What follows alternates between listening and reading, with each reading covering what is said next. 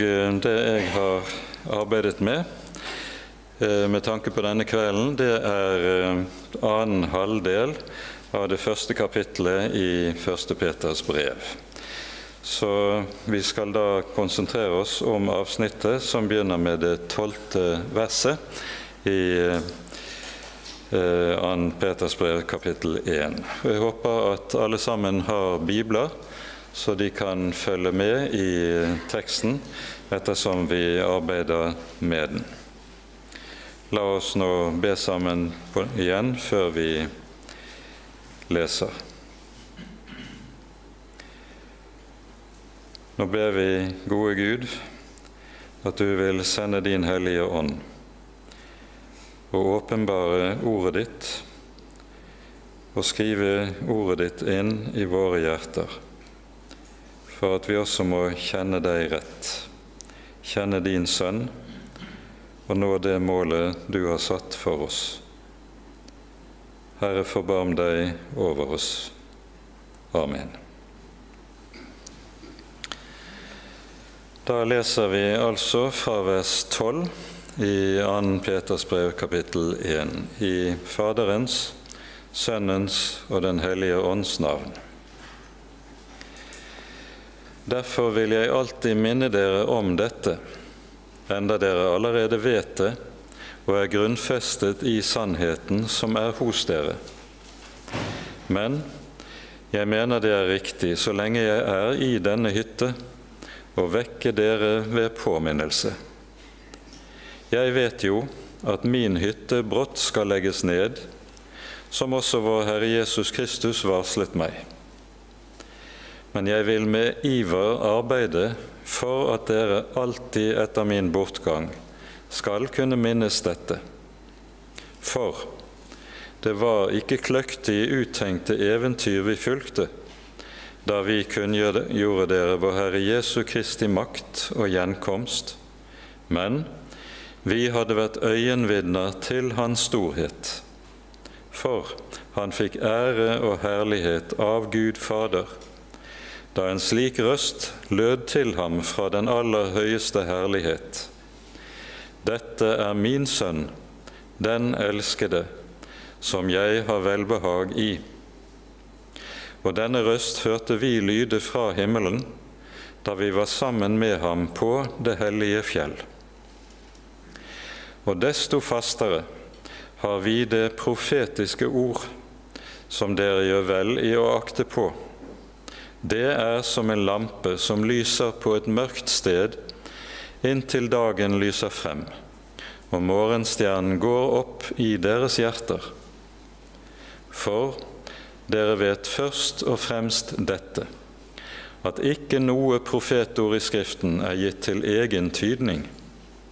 For aldri er noe profetord brakt frem ved menneskers vilje, men de hellige Guds menn talte, drevet av Den hellige ånd. Amen. Det avsnittet vi har for oss nå, begynner med tre vers, eller fire vers er det vel, som taler om påminnelse. Carl Fredrik Wisløff sin prekenlære, som heter 'Ordet fra Guds munn', den har et, i et av sine innledende kapitler eh, overskriften prekenen som påminnelse, og peker på, med det på en avgjørende og viktig side ved all forkynnelse. For når Peter taler om påminnelse i denne sammenheng, så peker han på det helt grunnleggende at overfor det Guds folk som kjenner Herren, som er blitt frelst ved ordet om Jesus i evangeliet. Det er et Guds folk som vet at nyheter det er, kan være noe som er ganske problematisk i forkynnelsen. Um, Judas brev er et brev som på mange måter er parallelt til 2. Eh, Peters brev, og det gjelder særlig kapittel 2 i 2. Peters brev. Og Her eh, innleder Judas med ordene at han taler om eh, den tro som en gang for alle er overgitt til de hellige. En gang for alle. Og Derfor så er det at Peter også taler om noe av sitt hovedkall. Det handler om påminnelse. Altså, han ser det ikke som et ideal å stadig skulle komme med noe nytt, noe originalt, men tvert om å minne menighetene om det som de allerede vet, og som han sier de allerede er grunnfestet i. Og Ser du etter i Det nye testamentet, så vil du se at nettopp det å minne, påminne, det er en viktig side i, flere, i flere sammenhenger. Når Jesus beskriver Den hellige ånds gjerning i Johannesevangeliets 14. kapittel, så sier han om Ånden at når Han kommer, sannhetens ånd, da skal Han minne dere om alt det jeg har sagt dere. Åndens gjerning består altså bl.a. i påminnelse. Og eh, når Paulus i 2. Timotius brev skriver til eh, sin unge venn 2. Timotius er jo Paulus sin svanesang. Så han, bruker han dette begrepet tre ganger. Han minner sin unge venn med tanke på at denne påminnelse skal hjelpe ham til å våke i troen. Påminnelsen det er altså noe som er viktig med tanke på nettopp det å kunne holde seg våken i eh, den tid som en lever i. Og ser vi på sammenhengen med Det gamle testamentet i det, det vi her er inne på, så vil en legge merke til der at Gud i Mosebøkene innstifter en hel rekke ordninger med tanke på at hans folk skal minnes. De skal ikke glemme. Påskehøytiden innstiftes med tanke på at folket skal komme i hu Herrens gjerninger. Vi hører om lignende ting i forbindelse med de andre høytidene. Det nevnes at i 4. Mosebok kapittel 15 at Israel skal lage seg dusker på de fire hjørner på sine kapper for at de ikke skal glemme Herrens gjerninger og Herrens bud. Dette skal være til påminnelse. Og leser vi det tredje budet som blir gitt ved Sinai, så lyder det som følger. Kom hviledagen i hu, så du holder den hellig. Og slik dette budet forstås og leses blant jødene, så forstås det som to bud. Det er et bud som sier 'du skal minnes, du skal komme i hu', og for det andre 'du skal holde hellig'. Og Av denne grunn, fordi det er to bud samlet i det ene budet om sabbaten, så tenner jødene to lys på sabbatsbordet for å minne hverandre om hva dette dreier seg om. Og det å minnes er så avgjørende i Den hellige skrift at frafall fra Herren det beskrives ved hjelp av ordet 'å glemme'. Der glemselen råder i forhold til Herrens ord, Herrens gjerninger, Herrens bud, der vil mennesker med nødvendighet komme til å falle fra. Det å minnes og påminne, det er altså noe som er avgjørende del av det å leve som et Guds folk, og bli bevart som et Guds folk. Og så er Herren også, slik som vi leser det i slutten av det 20. kapittelet i 2. Mosebok, knyttet store løfter til det å minnes.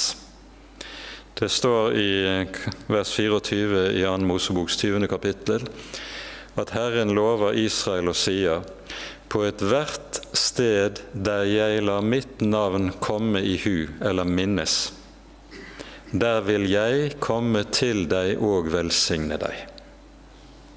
Det er et stort løfte, det. Og På denne måten ser vi at påminnelse det er noe som ikke er noen liten sak i Den hellige skrift, hvis du leser det i sammenheng med det bibelske budskap for øvrig. Og Når Peter her sier at han ser det som sin hovedoppgave før sin avskjed her fra verden og minne menighetene, så kan vi stille spørsmålet hva er det så han vil minne menighetene om? Det er ganske særlig det som står i det foregående, der han taler om det grunnleggende i troen, og hva troen kommer til og skal komme til å virke i et troende menneskes liv og hjerte. Og Dette vil han påminne om med tanke på at de troende skal nå målet. At de ikke skal gi opp på halvveien. Og så sies det altså, som vi hører det her Jeg mener det er riktig så lenge jeg er i denne hytte eller dette telt, å vekke dere. Vekke dere, sies det, ved påminnelse samme uttrykket anvendes i begynnelsen av eh, det tredje kapittel, der Peter skriver følgende.: Dette er alt det annet brev jeg skriver til dere. Begge to er skrevet for å vekke deres rene sinn ved påminnelse. Dette kan være et viktig poeng å ta med seg inn i vår tid. Vi lever i en tid der menneskene er syke etter alt som er nytt, alt som kan kalles originalt, alt som ikke er tradisjonelt. Mens her minnes vi altså om noe ganske annet.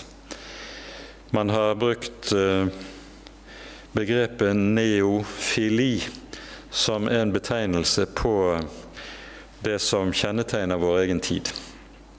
Det kommer av gresk neos, ny, og filos, kjærlighet til. Neofili det er kjærlighet til alt nytt. Mennesker kjeder seg ved alt som de mener er tradisjonelt, alt som de har hørt før. Og så er det en syk trang etter alt mulig nytt. Skriften lærer oss altså noe ganske annet, som Peter her holder frem for oss i disse versene. Jeg mener det er riktig så lenge jeg er i dette telt eller hytte, å vekke dere ved påminnelse. Derfor hører vi også at uh, til de menigheter som vi um, i åpenbaringsboken har sendebrev til, så er det to av menighetene som får høre meget salte ord fra Herren Jesus når han kommer på visitas i menigheten. Og så er det at det som blir det avgjørende ordet til omvendelse til disse menighetene, det er et ord der Herren sier 'Kom i hu hva du har falt ifra'. Kom i hu. Altså ikke finn på noe nytt, men kom i hu. Og På denne måten er det er altså slik som Carl Fredrik Wisløff sier i innledningen til sin prekenlære. Preken skal inneholde et vesentlig element av påminnelse. Når Peter skriver slik, så skriver han med tanke på at han vet at hans egen avskjed fra verden antagelig ikke er så langt unna. Han eh, sier i vers 14.: Jeg vet jo at min hytte brått skal legges ned, slik også var Herre Jesus varslet meg. I eh, avslutningen av Johannesevangeliet så hører vi at Jesus nettopp varsler Peter om at når han er blitt gammel, så ligger martyriet foran ham. Når Peter skriver dette brevet, er han sannsynligvis i Roma, og den forfølgelsen som brøt ut under keiser Nero, ligger sannsynligvis like forut, eh, kanskje ikke så veldig langt frem i tid etter at Peter har skrevet dette brevet. Og Her er det da at Peter kommer til å lide martyrdøden under keiser Nero. Så sier, sier, han videre i det 15. verset.: Jeg vil med iver arbeide for at dere alltid etter min bortgang skal kunne minnes dette. Den iver Peter her understreker, at dette er noe som er så maktpåliggende for ham, det nedfelles i at det apostoliske budskap nedskrives. Det var jo slik at, som vi ser det i evangeliene Evangeliene, Apostlene skriver ingenting i Jesu levetid. Det er først et stykke tid etter Jesu himmelfart, det er først et stykke tid etter pinsedagen at evangeliene og det apostoliske budskap nedskrives. Men det helt avgjørende for at budskapet skal bevares, nettopp at det skrives.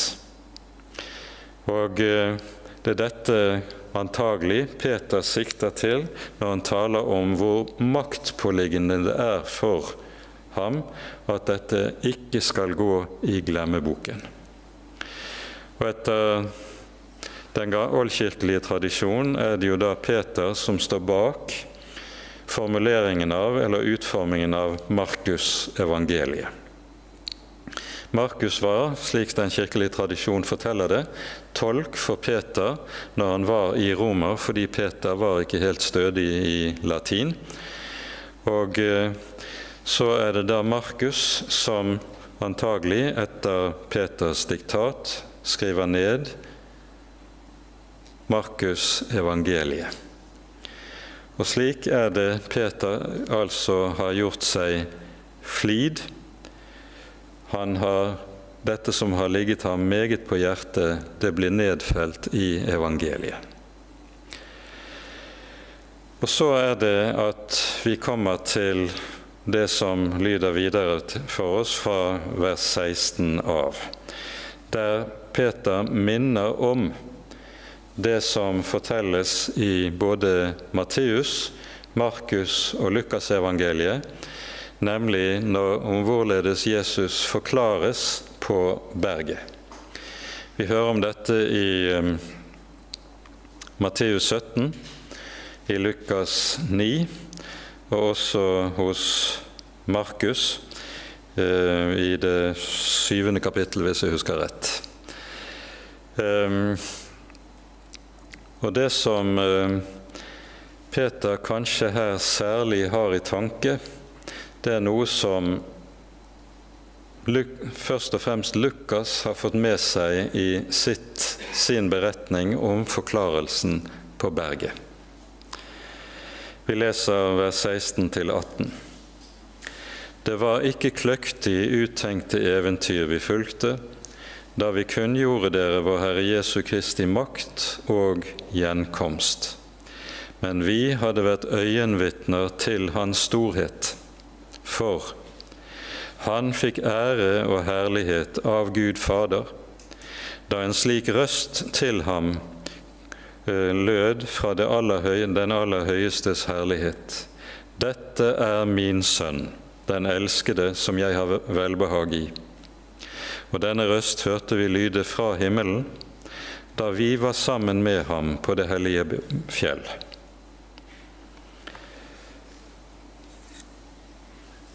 Det som skjer i forbindelse med forklaringen på berget, det skjer etter en helt avgjørende begivenhet i Jesu undervisning av og oppdragelse av disiplene. Motstanden mot Jesus og hans virke det har etter hvert vokst seg sterk også i Galilea. Noe som medfører at Jesus drar seg unna folkemengdene eh, og går omkring i grenseområdene opp mot det som er dagens Libanon.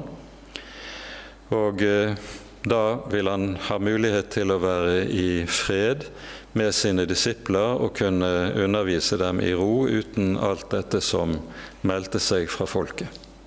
Og Her er det at Jesus spør disiplene hvem sier folk at jeg er.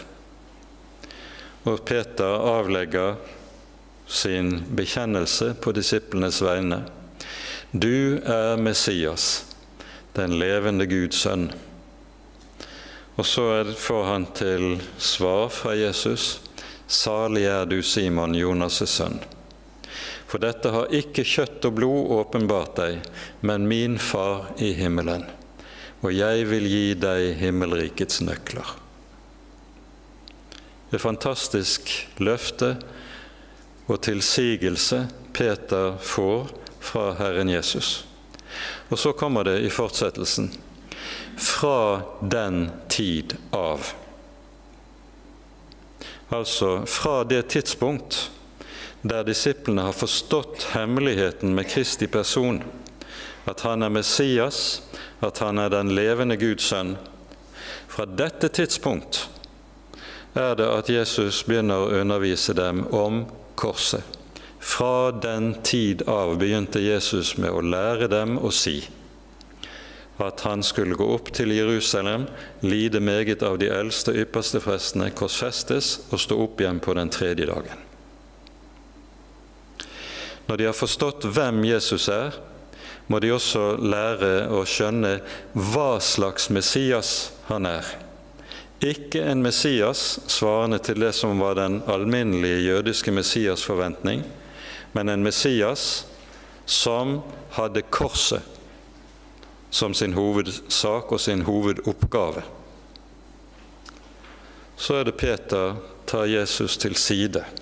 Dette husker dere alle. Og det står han begynner å irettesette Jesus. Det brukes et meget sterkt ord på grunnteksten for å irettesette. Han begynte å straffe Jesus, står det bokstavelig. Og si 'Dette må aldri hende deg, Herre'.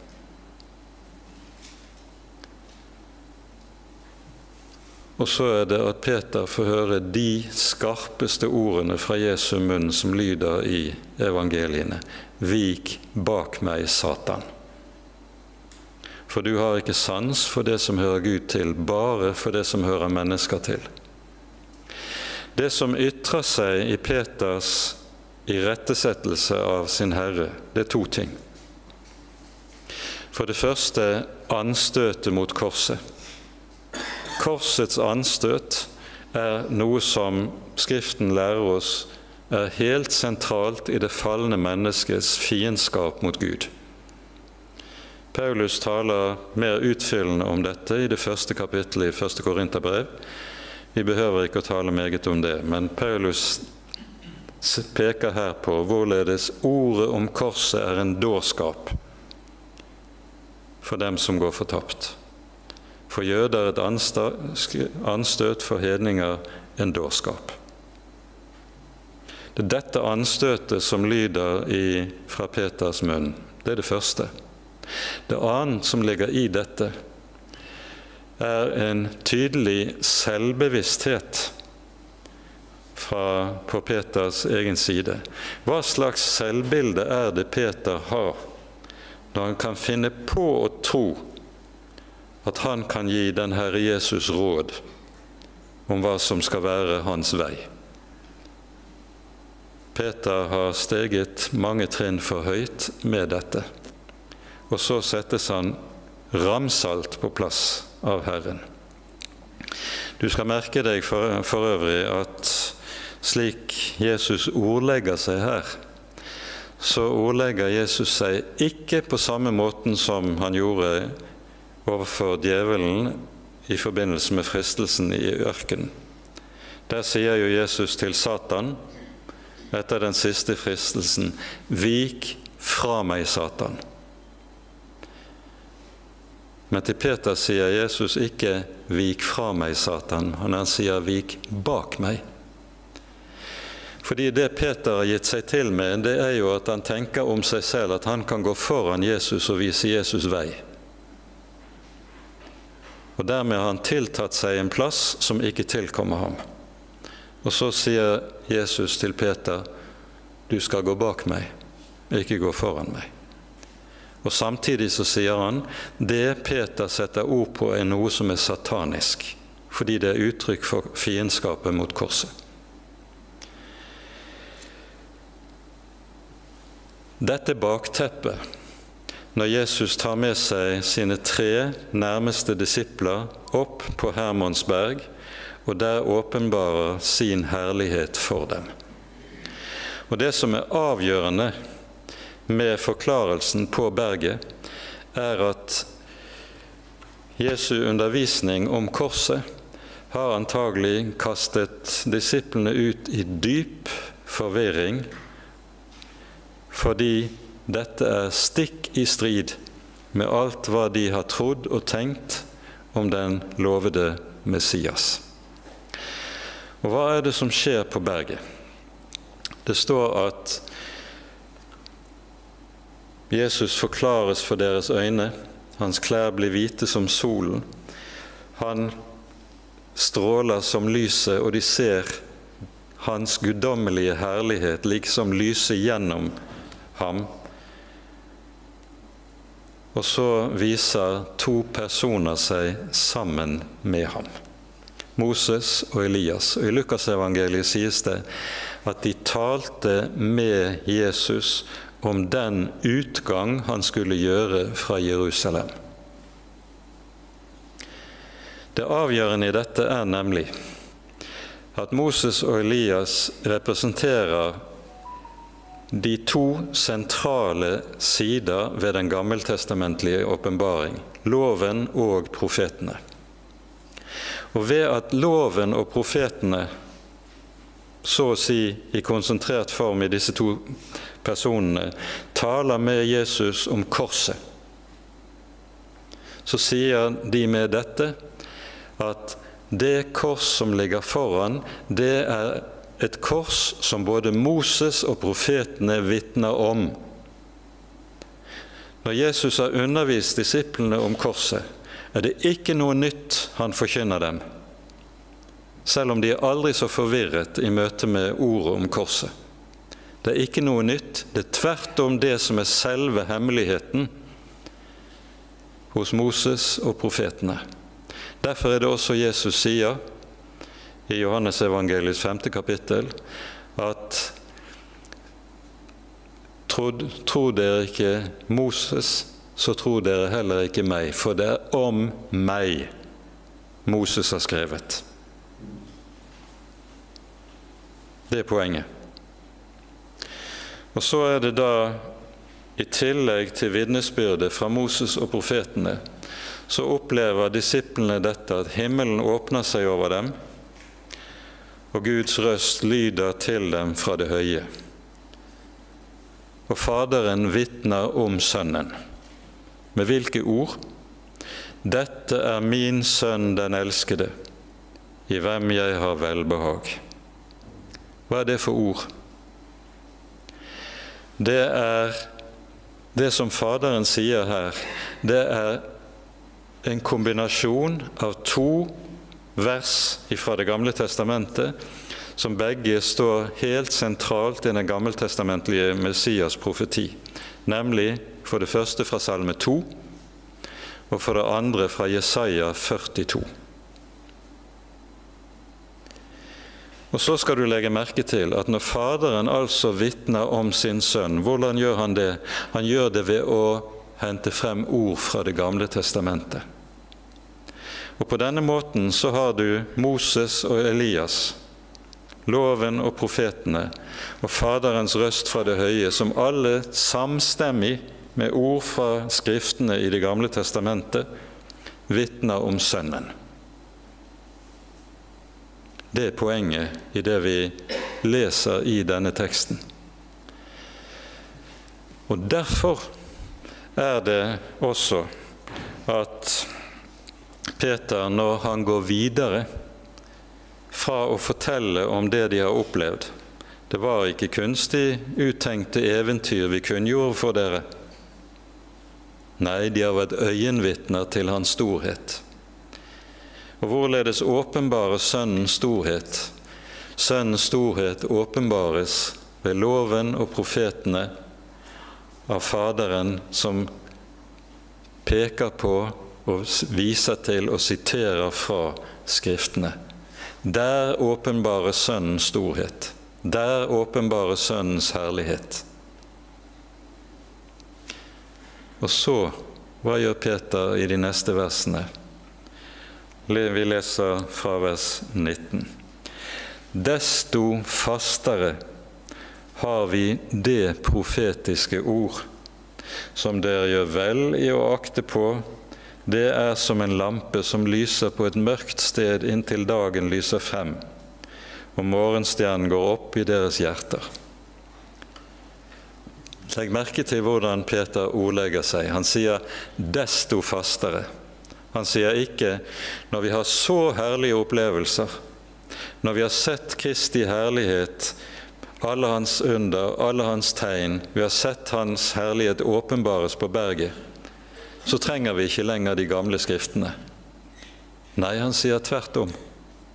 Det er tvert om slik at nettopp denne åpenbaring av Jesus Kristus, den stadfester Skriftene og gjør oss desto mer avhengig av Skriftene. Og Når Peter her taler om Skriftene, så sikter han til Det gamle testamentet. For dette er jo noe som er et rent kirkehistorisk faktum. De første kristne hadde ikke noe Nytestamentet. De første kristne hadde kun Det gamle testamentet. Og når evangeliet forkynnes, slik som vi leser det i den eldste kristne forkynnelsen i apostlenes gjerninger Hvordan forkynnes evangeliet? Det forkynnes ut fra Det gamle testamentet. Og slik er det de første kristne. De møter Jesus, de ser Jesus, de finner Jesus i Det gamle testamentets hellige skrifter. Og nå sier altså Paulus desto fastere har vi det profetiske ord som dere gjør vel i å akte på. Det er som en lampe som lyser på et mørkt sted, inntil dagen lyser frem og morgenstjernen går opp i deres hjerter. I det 15. kapittel i Romerbrevet så er Paulus inne på noe av det samme. Vi tar oss tid til å lese et par vers derfra.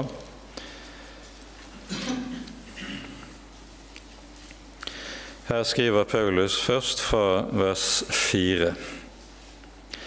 Alt som før er skrevet, altså i Det gamle testamentet, Alt som før er skrevet, det er skrevet til lærdom for oss, for at vi skal ha håp ved det tålmod som Skriftene Ved det tålmod og den trøst som Skriftene gir. Må så tålmodets og trøstens Gud gi dere og ett sin innbyrdes etter Jesu Kristi forbilde, for at dere samstemmig og med én munn kan prise Gud vår Herres Jesu Kristi Far.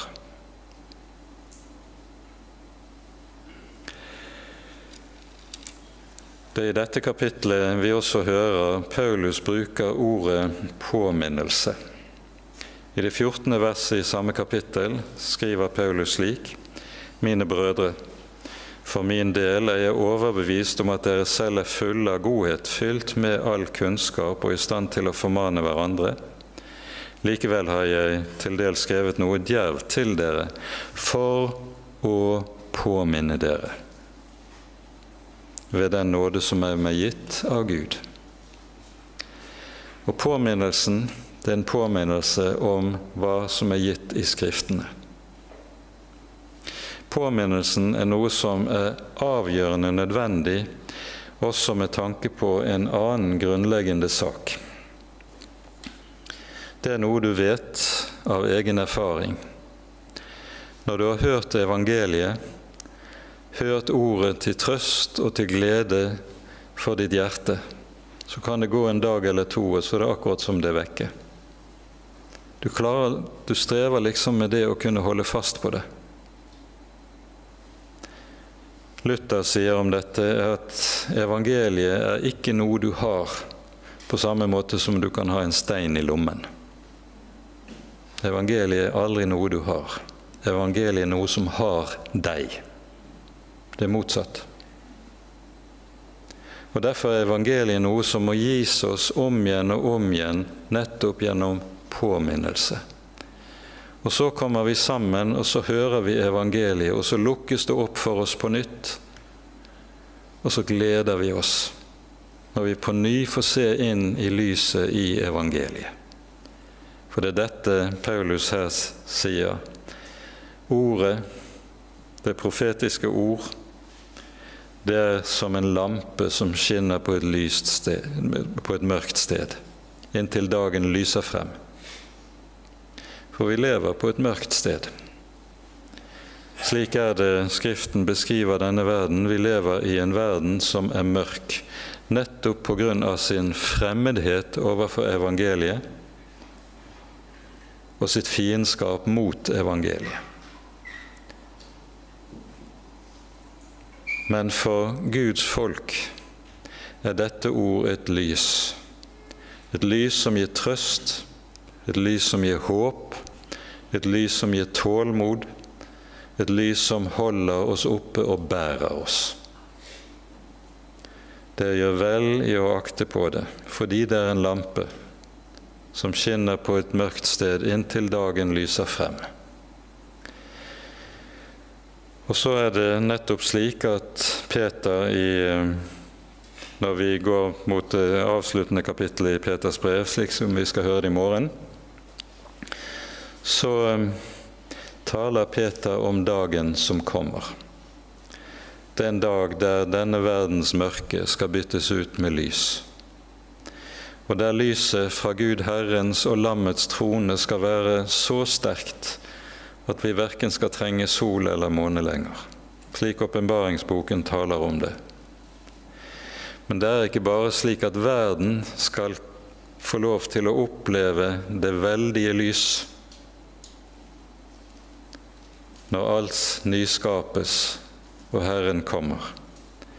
Men det går også opp et lys i de troende menneskers hjerter. Når Jesus kommer, kommer Han som er min frelse, Han som er mitt liv, Han som er min trøst, Han som har båret meg gjennom denne verden, Han som har tatt seg av meg i stort og smått, min trofaste frelser, min beste venn. Han kommer og så blir det lys også i hjertet. Ikke bare omkring oss, men i hjertet. Johannes skriver om noe av dette i sitt første brev. Det står sånn i det tredje kapittelet. Mine elskede, nå er vi Guds barn, men det er ennå ikke åpenbart hva vi skal bli. Men vi vet at når Han åpenbares, da skal vi bli ham like, for vi skal se ham som han er. Det er et lys som forvandler alt, også oss. Forvandler alt, også våre mørke hjerter, så det går opp lys også der inne. Fordi Han er den Han er, som vår frelser. Og så fortsetter Peter med å si følgende. Dere vet først og fremst dette, at ikke noe profetord i Skriften er gitt til egen tydning, for aldri er noe profetord brakt frem ved menneskers vilje, men de hellige Guds menn talte drevet av Den hellige ånd. At noe intet profetord er gitt til egen tydning, det kan bety to ting. For det første så kan det bety dette at intet bibelord skal tolkes og forstås utelukkende i lys av seg selv, dvs. Si isolert fra alle andre bibelord. For det er en grunnregel for all sann og sunn bibellesning det er at Skriften kan bare forstås rett hvis den leses i sammenheng. Det er et kjennetegn på djevelens måte å lese Bibelen på, at han river enkeltord løs fra Skriften, og på den måten så kan han tolke dem i strid med det som ellers sies til oss i Den hellige Skrift. Skriften skal og må leses i sammenheng. Ganske særlig gjelder det ord som bibelord som for oss kan synes vanskelig å forstå. Da kastes det lys over slike ord fra andre ord i Skriften som er klare og tydelige å lese. Så Med dette så gis det oss altså en grunnregel eller en hovedregel med tanke på bibel, vår bibellesning, vårt bibelarbeid. Men ordet om at intet profetord i Skriften er gitt til egen tydning, kan også bety en annen ting, nemlig Intet kristent menneske skal sitte for seg selv på sin egen tue og mene at han leser, når han leser Skriften og oppdager et eller annet, og så kan han tale imot det som den kristne menighet har lest og trodd gjennom alle tider. Jeg husker for mange år tilbake, da jeg eh, reiste for eh, Indre Sjømannsmisjon, så var det en plass, ganske isolert plass, der det var oppstått en underlig sekt Eh, alle som etter hvert sluttet seg til denne sekten, de utvandret etter hvert til Amerika, så det er ikke noe igjen av den her i Norge. Men det var altså en bonde som hadde sittet med sin bibel, og så hadde han opplevd å se Jesus åpenbare seg i form av en hval som svømte opp elven og opp fossen som lå bak gardsbruket. Og ut fra denne særlige åpenbaring så mente han om seg selv at han hadde en særlig åndelig autoritet. Og han fikk en hel gruppe mennesker som sluttet seg til ham. Den slags usunnhet vitner dessverre kirkehistorien altfor meget om. Vi har en tro som er gitt oss av Herrens apostler, og som er den grunnleggende felles kristne tro og som er nedfelt for oss i de gamle og grunnleggende bekjennelsene. Det er helt avgjørende at når vi leser Den hellige skrift, så leser vi Skriften sammen med våre fedre, som slik har overgitt oss den rette og sanne tro. Og så vet vi hvorledes det er. Jeg tror for de aller fleste av dere så har dere åndelige fedre som har kunnet føre dere inn i evangeliet og åpne opp Skriftene for dere. Det er veldig lite behov å markere avstand til slike fedre som har gitt oss evangeliet. Vi har hørt på dem, de har betydd så meget for oss, og vi husker dem med stor glede og takknemlighet. På denne måten så driver vi ikke med å lese Skriften etter eget hode og tyde det etter egen sans. Vi leser Skriften sammen med våre åndelige fedre, de som delte dens ene og sanne tro. Men dette begrunnes så videre, slik som vi hører det i det siste verset.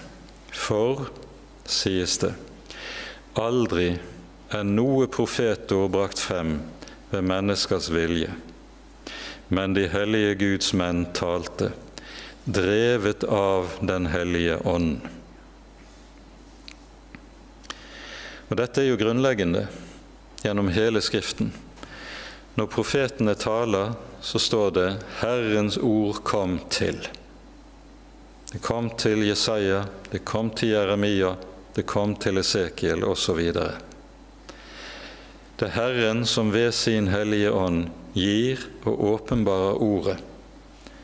På denne måten er det da også slik at det, dette ord som så ble nedskrevet, det overleverte oss i Hellig Skrift.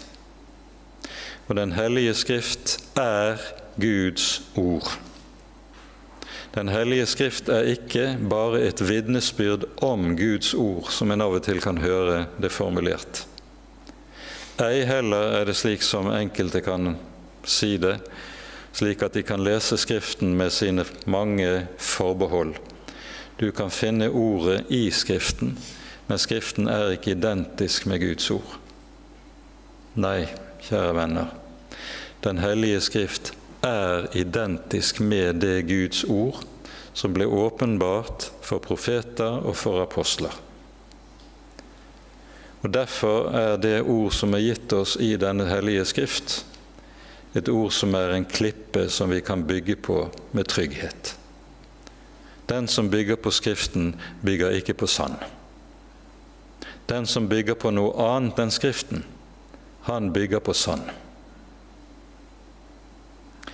De hellige Guds menn talte drevet av Den hellige ånd, sies det. Ordet som er med, oversatt med 'drevet av', det er et ord som i sekulær gresk blir brukt om den vind som drev, blåste skipene frem over havene, og som seil, seilene var avhengig av. Slik er det Den hellige ånd så å si har blåst frem, drevet frem, det som ord som er gitt oss i de hellige skrifter. Og Med dette så taler jo Peter på samme måte som eh, Paulus gjør i 2. Timotius brev, når han taler om det som vi kaller for Skriftens inspirasjon. I 2. Timotius 3 skriver Paulus slik.: Bli du i det du har lært, og det du er overbevist om, du vet jo hvem du har lært det av Helt fra barndommen av kjenner du de hellige skrifter, som kan gjøre deg vis til frelse ved troen på Jesus Kristus. Den hele Skrift er innåndet av Gud og nyttig til lærdom, til overbevisning, til rettledning, til opptuktelse i rettferdighet, for at det Guds menneske kan være fullkomment, satt i stand til all god gjerning.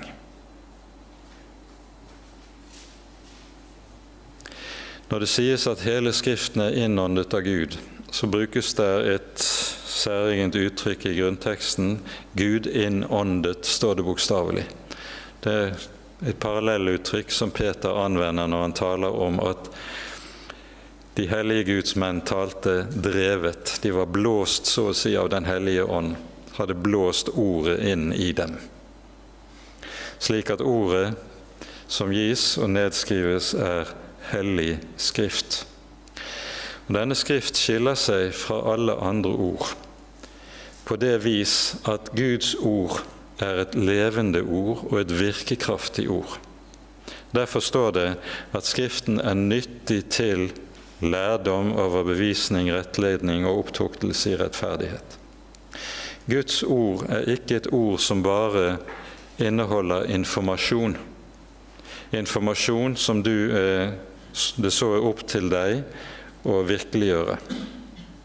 Guds ord er i seg selv virkekraftig, fordi ordet er bærer av Den hellige ånd. Og Da er poenget med det Paulus her sier, når han sier at hele Skriften er innåndet av Gud, så sier han med det det er ikke bare Skriftens tilblivelse som er noe som er gitt av Gud, men det er også slik at fordi Skriften er gitt av Gud, så er Den hellige ånd en ånd som bor i Skriften og blåser fra Skriften på deg når du leser Skriften når du lytter til Skriften, og når du tar den til deg. Og fordi Den hellige ånd er knyttet til og bærer av dette ord, så er dette ordet et virkekraftig ord som utfører en gjerning i våre liv og våre hjerter. En gjerning som ikke kan gjøres av noen annen eller ved noe annet virkemiddel. Ordet er det som former og virker skapende, nyskapende, inn i et kristent menneskes liv og hjerte. Fordi Ånden blåser fra ordet når du lytter til det, når du tar det til deg. De hellige Guds menn talte drevet av Den hellige ånd, hørte vi det lest. Med dette avsnittet som vi her har vært sammen om, så er det altså slik at Det gamle testamentets budskap er knyttet sammen med det apostoliske vitnesbyrd, slik at disse hører sammen uløselig, på uløselig måte. Og På denne måten så pekes det på dette at like som apostlene hadde som én hovedoppgave å vitne om vår Herre Jesus Kristus og Hans store gjerninger til vår frelse. Så er det også slik at profetene og de profetiske skrifter vitner om den Herre Jesus og Hans store gjerninger til vår frelse. Dette vitnesbyrd samles for oss i Johannesevangeliets femte kapittel som inneholder et umåtelig betydningsfullt avsnitt som man ikke fort skal bli ferdig med. I slutten av Johannesevangeliets 15. kapittel sier Jesus om talsmannen når han kommer. Når talsmannen kommer, som jeg skal sende dere fra Faderen, han skal vitne om meg. Så hørte vi på fjellet der Kristus ble herliggjort. Hvem er det som vitner om Jesus? Faderen vitner om sin sønn. Vi har en treenig Gud, og to av personene har som noe av sin hovedsak at de vitner om den ene. Ånden vitner om Sønnen, Faderen vitner om Sønnen, og Sønnen vitner om Faderen. Dette er noe av mysteriet, slik Skriften åpenbarer for oss hvem den treenige Gud er. Og dette Faderens vitnesbyrd om sin Sønn, det er videre skjenket oss i Skriftene i Det gamle testamentet. I Johannes 5, fra vers 31 av, så taler Jesus om vitnesbyrdet som Faderen har gitt. Fra vers 31 står det slik Dersom jeg vitner om meg selv, da er mitt vitnesbyrd ikke sant, sier Jesus. Det er en annen som vitner om meg, og jeg vet at det vitnesbyrd han vitner, er sant. Så peker han først på døperen Johannes, og så på de gjerninger han gjør, som vitner om at Faderen har sendt han, og så lyder det videre. Og Faderen som har sendt meg, han har vitnet om meg. Verken har dere noen gang hørt hans røst eller sett hans skikkelse. Og hans ord har dere ikke værende i dere, for den han har sendt, ham tror dere ikke. Og så kommer det i vers 39.: Dere gransker Skriftene, fordi dere tenker at i dem har dere evig liv, og det er disse som vitner om meg. Men dere vil ikke komme til meg for å få liv. Og så slutter kapittelet slik. Dersom dere hadde trodd Moses, så hadde dere trodd meg, for det er meg han har skrevet om. Men hvis dere ikke tror Hans skrifter, hvordan kan dere da tro mine ord? Det gamle og Det nye testamentets vitnesbyrd er uløselig vevet sammen. Og det er vevet sammen på det vis at begge disse deler av Skriften har dette som ene store hovedsak. Det vitner om Sønnen. Og det er dette som forklarelsen på berget dypest sett dreier seg om. Faderen vil gjennom denne herliggjørelse av Sønnen ikke gjøre Skriften unødvendig, men tvert om peke på at vi er helt avhengig av, ja, vi er overgitt til Den hellige Skrift. Ære være Faderen og Sønnen og Den hellige ånd, som var, er og være skal, en sann Gud, høylovet i evighet. Amen.